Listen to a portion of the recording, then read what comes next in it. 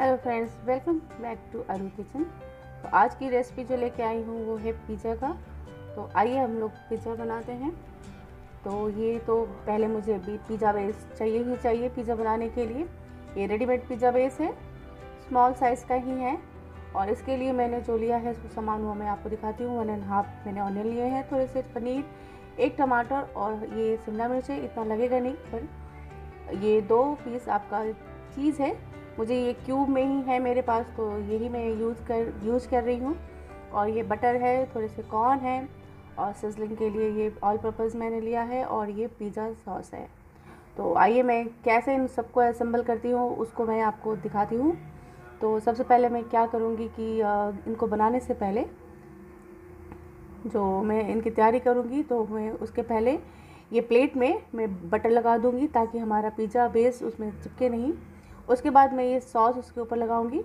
इन सबसे पहले मैंने ये कढ़ाई में नमक ले लिया है और इसके अंदर ये रिंग डाल दिया है। इसके ऊपर मैं प्लेट रखूँगी। ये नॉर्मल नमक है, ये मैं बार बार इसको रीयूज करती रहती हूँ। ये दस मिनट तक मैं छोड़ दूँगी कढ़ाई को प्री हीट होने के लिए। देखिए, मैंने सिम करके प्री हीट होने के लिए दस मिनट तक इसको छोड़ दिया है। और अब मैं इसके बाद अपना पिज़्ज़ा का जो टॉपिंग है वो तैयार करती हूँ। और मैंने यहाँ पे थोड़े जो पनीर लिए थे, उनको मैंने रेड चिली डालकर बटर में थोड़ा सा इनको सॉटे कर रही हूँ।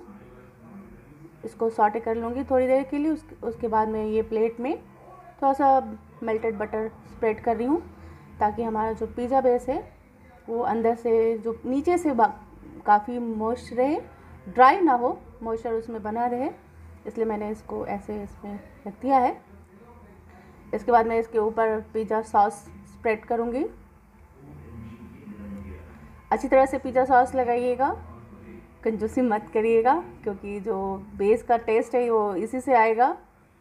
तो अच्छी तरह से आप इसकी कोटिंग करें।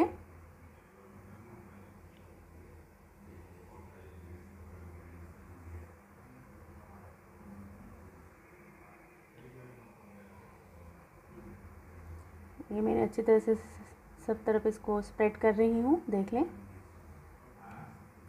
इसको स्प्रेड करने के बाद मैं इसके ऊपर चीज़ की टॉपिंग दूँगी। अगर आपके पास डाइस वाला चीज़ है तो आप पहले उसको डाइस वाला चीज़ इस पर डाल दें।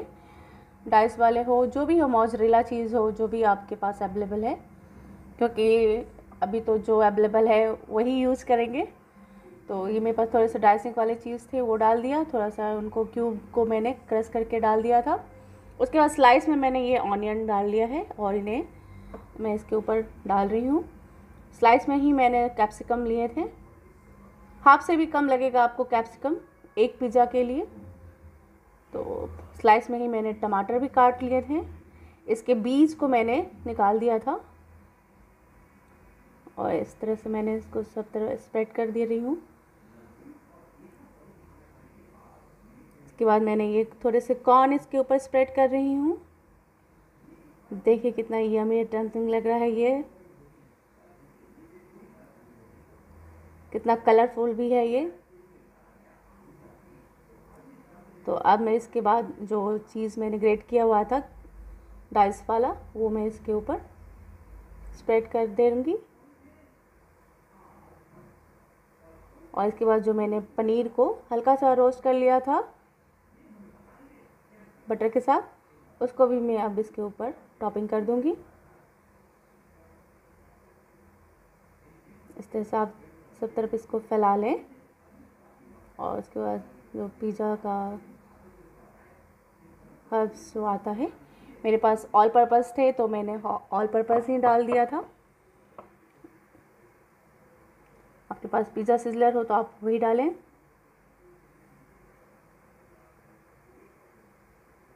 थोड़े से और ग्रेटेड पनीर सॉरी पनीर नहीं चीज़ थे तो मैंने उसके ऊपर डाल दिए हैं बचे हुए। जितना चीज़ डालेंगे, उतना ही मॉइस्ट होएगा।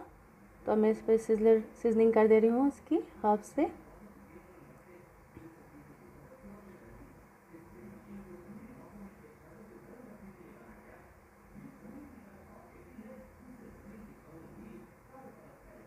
उसके बाद मैं ये रेड पेपर डाल दूँगी इसके ऊपर। आपको जितना स्पाइसी खाना है उसी हिसाब से आप रेड पेपर डालें।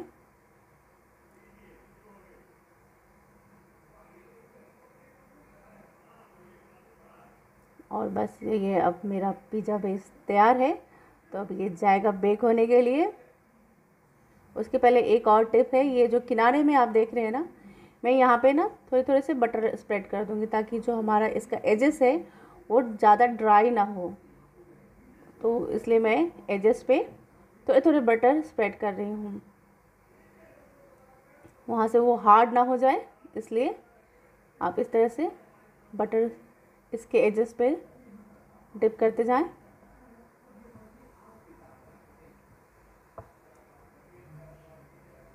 एजेस पे डायरेक्ट हीट लगेगा, वहाँ पे कुछ भी नहीं है, कुछ भी टॉपिंग नहीं है, चीज़ नहीं है तो वह ज़्यादा ड्राई हो जाएगा। बाकी जगहों पे चीज़ भी है तो इसलिए वो सेफ़ रहेंगे सॉफ्ट रहेंगे। तो अब मैं इसको यहाँ पे संभल के डालना। कढ़ाई बहुत गर्म है। इस तरह से ये अंदर चली जाए। आप इसी साइज़ का प्लेट पहले से ही आप चूज़ कर लें। उसके बाद बड़े प्लेट से आप इसको ढक दें।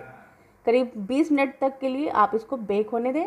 20 मिनट के बाद अब हम इसे खोल के देखते हैं। तो चलिए, देखते हैं फिर खोल कर ओह वाओ सी सी कितना यमी दिख रहा है हमारा पिज़्ज़ा पर अभी ये बन तो गया है, लेकिन एक इसमें टिप्स मेरी और इसमें ऐड करूँगी मैं. अगर आपको सॉफ्ट ही खाना है तो आप ऐसे खा सकते हैं, लेकिन मुझे बहुत क्रंची वाला पिज़्ज़ा पसंद है. तो मैं इसमें क्रंच लाने के लिए तवे पे थोड़े से बटर स्प्रेड करूँगी. मुझे वो पैन क्रंच जो पिज़्ज़ा होता है ना, मुझे वो क्रिस्पी, क्रिस्प पिज़्ज़ा वो ज़्यादा पसंद है। तो अगर आपको इस पर क्रिस्प लाना है तो आप इस तरह से करें, नहीं तो आप ऐसे भी खा सकते हैं। तो इस तरह से बटर को फैला दें। ये बिल्कुल आपको पैन क्रस्ट पिज़्ज़ा वाला टेस्ट आएगा।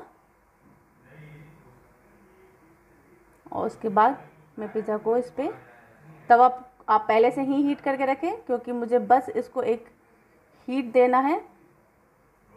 बेक तो ये ऑलरेडी हो ही चुका है। बेक नहीं करना है, बस हीट देना है ताकि इसमें, इसके बेस में अच्छा सा क्रंच आ जाए।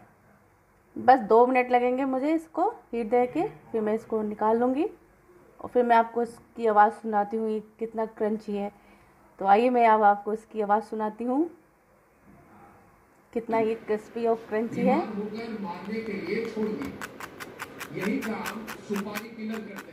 तो साथ में टीवी चल रही थी तो उसकी भी आवाज़ आ रही थी। और ये देखिए बैक साइड कितना अच्छा से रोस्ट हुआ है। पर इसकी आवाज़ सुनानी थी मुझे आपको, इसलिए मैंने थोड़ा सा आपको आवाज़ सुनाया। देखिए कितना क्रंचीज है कितना यमी है और कितना जूसी है। ये ऊपर से बहुत ही सॉफ्ट है और नीचे से बहुत ही क्रंची क्रंची सा है। तो आप इसे खाइए, खिलाइए और फिर मुझे अपना एक्सपीरियंस ज़रूर शेयर कीजिए।